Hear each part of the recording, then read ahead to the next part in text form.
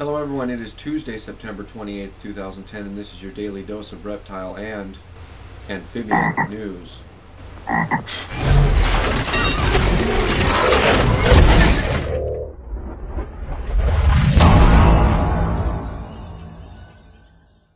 Yes, yes, that's right. You heard right. Somebody not too long ago sent me a message asking me or telling me I should do amphibian news as well.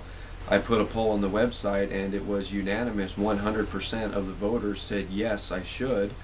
And on top of that, an older poll on the website, about 80% of voters wanted longer videos. So I figured we'll put the two together. You're not losing any of your reptile news, you're gaining amphibian news. So um, let's get right onto it and try this. Apparently in Texas, we have another dog that was attempting to defend one of its uh, family members from a rattlesnake and suffered a bite on the face. Apparently a family found a rattlesnake in their yard when Vandy, a boxer, got between the snake and the baby. The father got everybody into the house and went out and got rid of the snake, but they later found that the dog was being lethargic and his face was swelling. He was taken to a vet and given anti-venom and has recovered and is back home. And officials in North Carolina, where they claim has the largest diversity of salamanders in the world, are attempting to link salamanders between the populations and prove that the groups are related. And a 28-year-old man was bitten by a cobra in Delhi. Apparently this happened at 2 a.m. today, their time. By the time authorities got there and got him to the hospital, he was declared dead. And the pet trade is saying that new government regulations will not save the frogs. For those of you that watched the Sacramento Reptile Show review videos that I did, you'll see in the very first video, Andrew Wyatt was talking about how the government is trying to restrict, I believe it was the interstate trade of all exotic frog species. Now, if you ask me, I have a very personal problem with anything that, that restricts the pet trade. Uh, most people I, I believe that the pet trade actually helps and, and doesn't hurt the uh, the wild populations. People will go to a pet store, or a breeder, or retailer, or something to get their animals rather than taking them from the wild.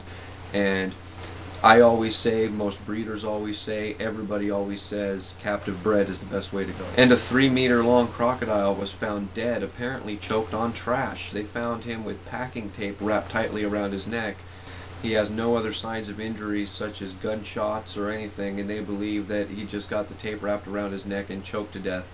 They're saying this is why it's very important that while people are out that they pick up their trash before they leave. And scientists are starting their first coordinated effort to locate a hundred species of amphibians that are thought to be extinct or near extinct.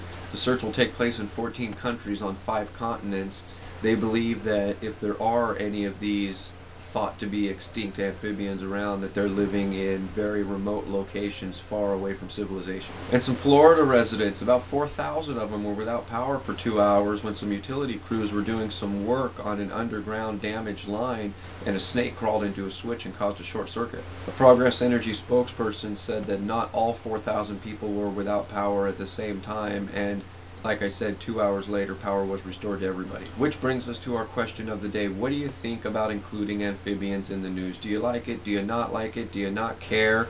Was this video way too damn long for you? Just let me know. Leave a text comment or video response below.